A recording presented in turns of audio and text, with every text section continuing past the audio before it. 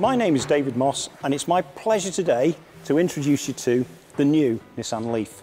We've developed this car from the ground up using our class-leading CMF EV full electric platform with a new powertrain and also with a new battery because we wanted this to have class-leading range. And in fact, we can get a brochure figure of 604 kilometres for this vehicle. One of the big elements is the secret of aerodynamics we had to pay a lot of attention to the way we design the front end and the fact we've got something called an active grille shutter which controls the airflow and all these kind of features like flush door handles that basically allow the air to move really smoothly around the vehicle. That brochure figure of 604 becomes something like 330 kilometers on a highway when you're driving at a constant speed of 130 kilometers an hour. We have put so much effort to actually creating the new motor to be more efficient, more quiet. It's the only third generation battery EV in the market. In DC fast charging status, the maximum speed will be 150 kilowatts. There's new technology, but it's still a very approachable car.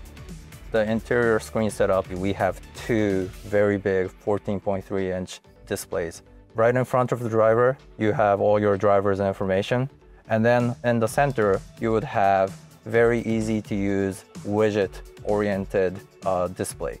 The whole Google suite is available in the new Nissan Leaf. That will allow the customer to choose which apps he or she might want to download. Also, the navigation system will keep the map fresh when you prepare for a trip, it will create the most efficient way to travel, considering all the ups and downs, and then also determining where to charge. For the interior, we have introduced a dimming sunroof, which is Nissan first. That has allowed the car more headroom, and this has enabled us to actually lower the height and create a much more aerodynamic shape. The new Nissan Leaf sunroof is one of its biggest wow factors. It's a first for Nissan and the first time we're bringing this really high-end premium technology into the mass market. What I'm most proud of on the new Leaf is our new fresh air subwoofer. This is delivering a best experience we've ever delivered in Nissan Europe. It's a very addictive system that's very enjoyable to listen to.